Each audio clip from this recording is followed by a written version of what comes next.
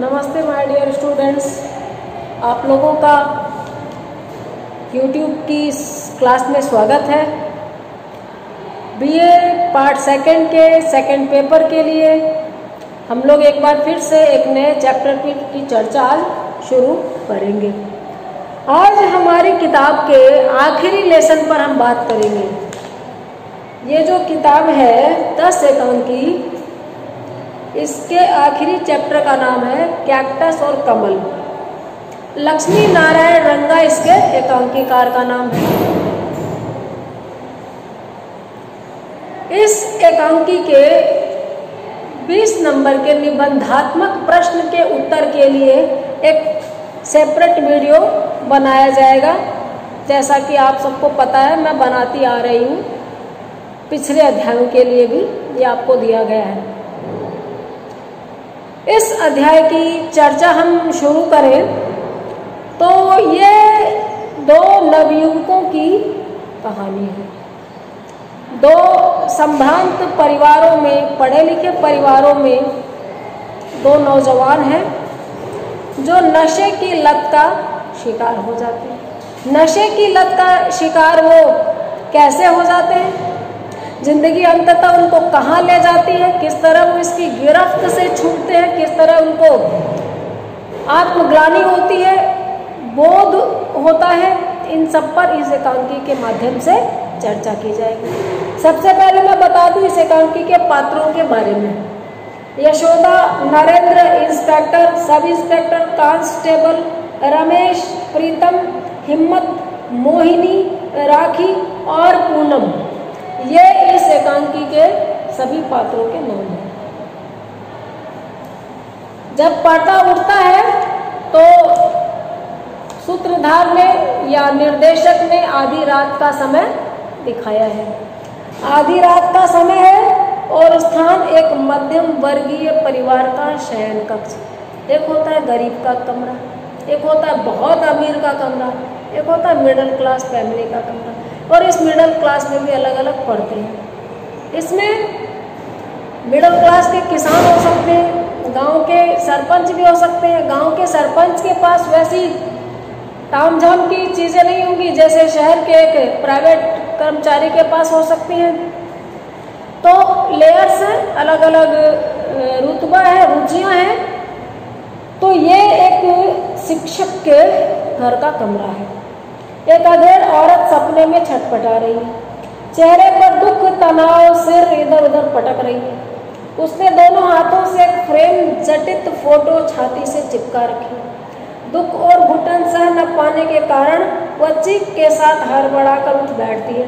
Photo गिर जाती है, शून्य में ताकती है। इस घर में एक महिला है जो नींद में सो रही है, लेकिन नींद में ही उसने फ़ोटो अपनी छाती से चिपका रखा और बड़बड़ा रही है। दोनों हाथों से कभी चेहरे को थाम लेती है, कभी छटपटाती है। और अचानक दुख और घुटन इतना बढ़ गया कि सहन नहीं हुआ और वो हड़बड़ा के उठ बैठती है। हम लोग कई बार छोटे बच्चे थे तो डर जाते थे। नींद में भूत है, डायन, चुड़ैल, जो कि सच में नहीं होते, लेकिन हमारे सामने किमवदंतियाँ निजंधरी कथाएँ, मिथक, इतने उठे हुए हैं, इतने रूपों में हमारे इर्द गिर्द है कि हमारी भाषा भी उनसे अछूती नहीं है। बहुत सारे अवैज्ञानिक शब्द जिनका कोई तथ्य नहीं, वो भी हमारी भाषा में है। उसी तरह से ये जो बिंब है, चरित्र है, काल्पनिक चरित्र ही सही, हम इनसे डरते हैं। और निकल भी जाते हैं, अगर आपको समझ आ जाए, आप में रीजनिंग पावर आ जाए, आप तर्क करने लगे, विवेक शक्ति आपकी जागृत हो तो एक उम्र के बाद आपको पता चल जाता है कि ये चीज़ें नहीं होती। बचपन में मुझे बहुत डर लगता था कि मेरा पीछे एक सफ़ेद वस्त्रों वाली कोई महिला कर रही है। लेकिन लंबे टाइम तक डरते डरते एक दिन मैंने पीछे मुड़ के यूँ देख लिया तो दूर दूर तक पूरी सड़क खाली थी, मुझे कोई नहीं दिखा। और इसी पर मेरी बात को पढ़कर, सुनकर बहुत सारे लोग बोले कि, ना मैडम, यहाँ को नहीं हो गए? किम्मे तो हो गए।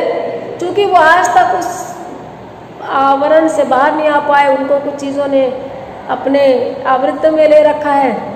तो वो समझ नहीं पाते हैं। जिस दिन पढ़ने लगेंगे, सोचने लगेंगे, शायद वो भी कह दें कि नहीं ये सब कुछ नहीं होता। लेकिन यहाँ पर बात भूत प्रेतों की नहीं हो रही है। इस एकांकी में बात जीवित पात्रों की हो रही है। एक माँ है जिससे उसका बेटा बिछुड़ गया है। और वह उस एकमात्र संतान को याद कर रही है, एकमात्र बेटे को याद करिए संतान एक बेटी भी है इसके, जिसको बाद में बताया जाएगा।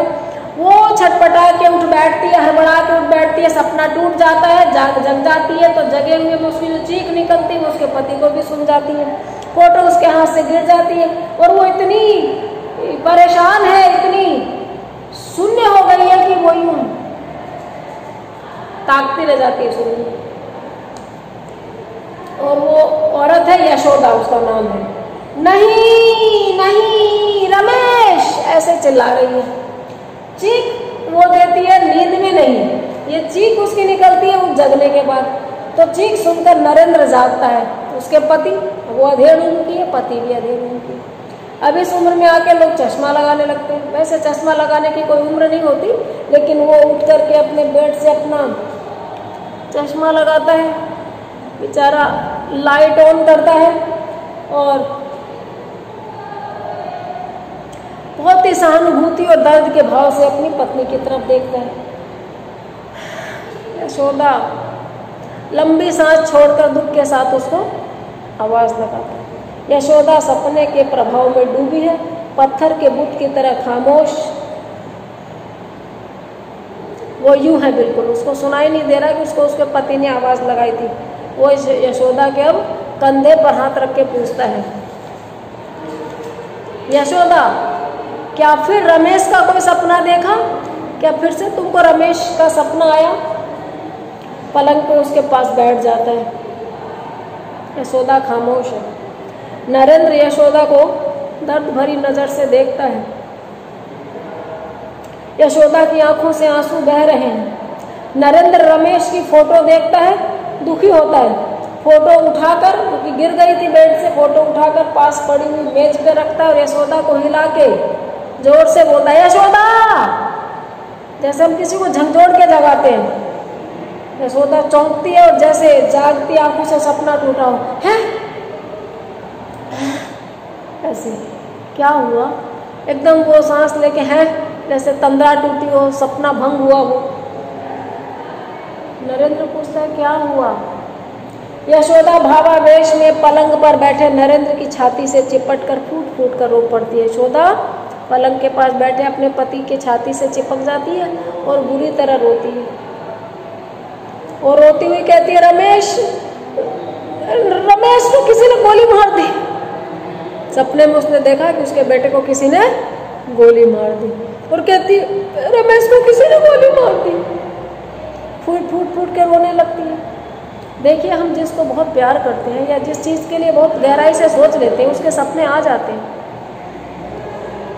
जब चित्त में कोई चीज़ घर कर जाए, किसी चीज़ के लिए इंटेंस डिज़ायर हो या किसी चीज़ से डर हो, दोनों ही स्थितियों में सपना आ जाता है। उसको अपने बेटे से बहुत प्यार है और ये उसको वापस पाना चाहती है, घर लाना चाहती है और इसकी जान का खतरा भी महसूस करती है। इसलिए इसने सपने में क्या देखा कि उसके बेटे को किसी ने गोली मार दी है। फूट फूट कर रोने लगती है और नरेंद्र यशोदा की पीठ पर छानुभूति से थपथपाता वो उसकी पीठ पर सहानुभूति से थपथपाता है। सपने छलावा होते हैं यशोदा सपनों पर एतबार न कर। सपने तो झूठ होते हैं। सपनों पे क्या विश्वास करती हो? नरेंद्र की पीठ पर यशोदा के हाथ कस जाते हैं। बच्चा भी जब निढाल हो जाता है तो अपने पेरेंट्स को कस के पकड़ लेता है। इसी तरह से जब हम बड़े हो गए हों, या पेरेंट्स नहीं हो हमारे साथ, हमारे पास, या उस लायक तो जो भी दोस्त हो, मित्र हो कोई नहीं हो तो हमारा तकिया ही हो। हम उसको कस के पकड़ लेते हैं। नरेंद्र एक भावुक इंसान है, जिम्मेदार पिता और समझदार पति है। तो वो इतना रो रही है तो अपने पति के पास में उसको जकड़ कर बैठ जाती है। वो कहता है कि सपनों पर एतबार न कर। तो यशोदा प्रत्युत्तर में कहती है तो मेरा सपना साकार कर दो। मेरा ही सपना साकार कर दो। मुझे मेरा रमेश ला दो। मुझे मेरा बेटा इतनी इमोशनल हो जाती है कि मुझे मेरा बेटा वापस ला दो। चलो वो सपने पे मैं भरोसा नहीं करूँ तो मेरा असली सपना है कि मेरा बेटा मुझे मिल जाए। तुम वही ला दो। मैं ऐसा कर सकता है यशोदा? निराश, शक्तिहीन स्वर में वो जवाब देता है, काश कर पाता। यशोदा, रमेश ऐसी सियाह सरहदों के पार चला गया है, जहाँ से लौटना नामुमकिन है। बहुत दूर चला गया है। सियाह सरहद का मतलब काले किनारे काले किनारे का मतलब गैर कानूनी धंधे। कानून का जिस पर फंदा कसा हुआ है। नागरिक जनजीवन से जो फ़िलहाल दूर है, लाना बहुत मुश्किल है उसको। जब ये ऐसा बोलता है कि जब वो इतनी दूर चला गया, जहाँ से लौटना नामुमकिन है, उसे उसे बोलते इसको लगा, इसकी माँ को, रमेश की माँ को कि शायद बाप कुछ और अपसुन बोलने वाला है। उसके पहले उसके मुँह पे हाथ रख देती है। नहीं, ऐसा मत कहो। हम कितने भी साइंटिफिक सोच वाले हों अब शब्द भी बुरे लगते हैं और बदुआएँ भी बुरी लगती हैं। अपने लिए शायद हम सुन लें। लेकिन अपने प्रिय पात्रों के लिए, अपने प्रियजनों के लिए अनिष्ट की आशंका से भी हमारा मन काँप उठता है। जैसे इसको लगा कि इसका पति बोल रहा है कि क्या पता वो लौटे नहीं, लौटे उसके जीवन का भरोसा नहीं भरोसा नहीं, बोलने ही नहीं देती। उसके पहले ही कह देती है कि नहीं नहीं, ऐसा मत करो। ये कहता है, ख्वाबों पर नहीं, हकीकत पर एतबार करने की कोशिश करो यशोदा। ख्वाबों पर नहीं। हकीकत पर एतबार करो। हकीकत ये है कि हमारा बेटा हमसे बहुत दूर चला गया है और वो दूर भी पढ़ने के लिए नहीं गया है। इलीगल काम के कारण गया है। उसकी हम सबके सामने सार्वजनिक रूप से चर्चा भी नहीं कर सकते। यशोदा की आँखों से आंसुओं की बाढ़। ये सब ब्रैकेट में जो जो लिखा है वो व्याख्या में नहीं आएगा, लेकिन जिसने यशोदा का रोल किया है उसकी आँखों से उस समय लगातार टप टप आँसू बढ़ेंगे तो अभी जो यशोदा है, वो रो रही है। नरेंद्र यशोदा के आँसू देखकर कहता है, यशोदा, बेकार रो रो अपना खून आंसुओं में मत बहा। कोई फ़ायदा नहीं है। तुम्हारा खून बह रहा है आंसुओं के ज़रिए। मत बहा। यशोदा कहती है, मैं क्या करूँ नरेंद्र? मैं क्या करूँ? नरेंद्र कहता है, हिम्मत से काम लो यशोदा। एक आदत होती है हमारी। हम कितने भी निराश हों, हमारा दोस्त हमारे सामने रोता है तो हम उसको कहते हैं, हौसला रखो। हम रो रहे हो लेकिन हमारे सामने कोई और रोने लगे तो हम झट से अपने आँसू पोच कर पहले उसको चुप कराने लगते हैं। यही नेचुरल है, यही सुंदर है। वो भी उसको कहता है, मत बहा और हिम्मत से काम ले। यशोदा कहती है, अब हिम्मत कहाँ से लाऊं? मैं कहाँ से ला रहा हूँ? देख, कभी रोता हूँ तेरे तरह। मुझे देख, मेरे पास भी तो हिम्मत है। कभी तूने मुझे रोते देखा? नरेंद्र, तुम सामने नहीं। छुप छुप कर, सियाह रातों में तन्हा आँसू बहाते हो। तुम सामने नहीं रोते, लेकिन तुम रोते हो छुप छुप कर। अंधेरी रात में, ये मुझे पता है। मैंने कई बार रात को तुम्हें आगे बोलती नहीं है, ब्रैकेट में है कि नरेंद्र का दिल भर आया है, उसकी आँखों में आँसू छल छलाते हैं। नरेंद्र सिर हिलाकर अपने भावावेश को, नहीं, जैसे, ऐसा कहाँ कुछ? थोड़ा सा गला खराब है। नरेंद्र की आँखें लेकिन इतना करते करते भी भर आते हैं। नरेंद्र कहता, नहीं नहीं, ऐसी कोई बात नहीं है। मैं कभी नहीं रोता। यशोदा कहती है, नहीं रोते? नहीं रोते? यशोदा हाथ बढ़ाकर उसका चश्मा उतार लेती है। चश्मा उतारते ही नरेंद्र की आँखों से अश्रु धाराएँ बह पड़ती है। नरेंद्र के आँसू आँसू देखकर यशोदा के भी आँसू आ जाते हैं। रोशनी बुझती है। रोशनी बुझती है का मतलब? अब दृश्य चेंज होगा। जब रोशनी जलेगी तो दृश्य परिवर्तित होगा। आज हम लोग इतना ही करेंगे। एक युवा बेटे के गुमराह हो जाने के बाद में उसके माँ बेटे की जो हालत होती है और देखिए, युवा बेटा हो या छोटा बच्चा हो, किशोर उम्र का हो, कोई भी हो। जब संभ्रांत, सुशील, सज्जन व्यक्ति के सामने उसका कोई अपना गलत राह पर चल पड़ता है तो उसको तकलीफ़ बहुत होती है। और चूँकि वो धीरे धीरे आस छोड़ रहा होता है उसकी घर वापसी के लिए तो वो और भी ज़्यादा हताश हो जाता है। ये दोनों पति पत्नी फ़िलहाल इसी मना स्थिति से गुजर रहे हैं। इसके आगे का भाग हम नेक्स्ट वीडियो में देखेंगे। आज इतना ही। देखते रहिए, बने रहिए। Have a nice day